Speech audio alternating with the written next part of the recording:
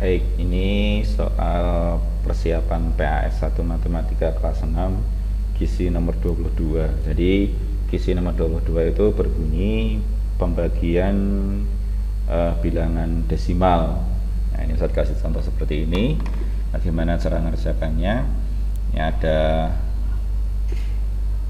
4 4,8 dibagi 1,4 Oke. Diubah ke pecahan, pecahan biasa. Jadi tinggal 448 per lihat di sini. Di sini di belakang koma ada satu angka. Karena satu angka maka pernya per 10, nolnya 1. Dibagi dengan ini sama ya. Di belakang koma angkanya 1. Berarti per 10 juga.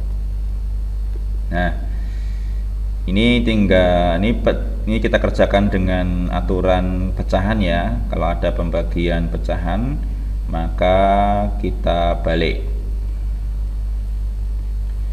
Ini 10-nya di atas, 14-nya di bawah. Nah, ini ada angka 10, 10 tinggal kita coret ya. Coret. Nah, ini tinggal 448 dibagi 14 ya. 448 dibagi dengan 14 nah, kita oret-oret di sini menggunakan uh, porokapit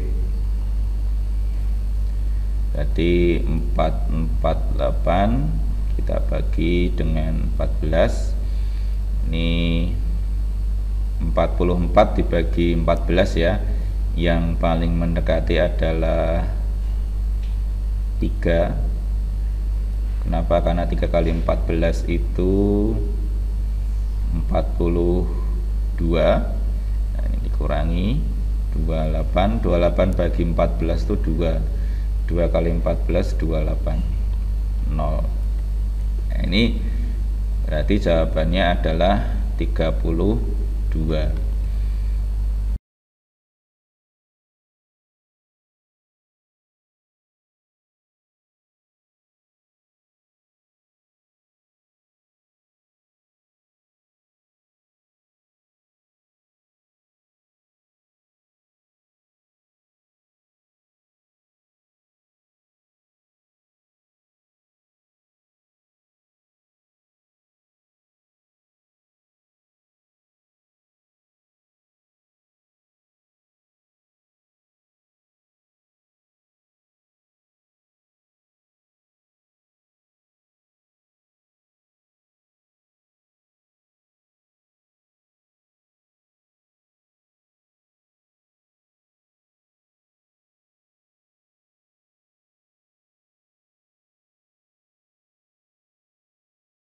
80 80 tambah 14 itu 94 cm jadi jawabannya adalah 94 cm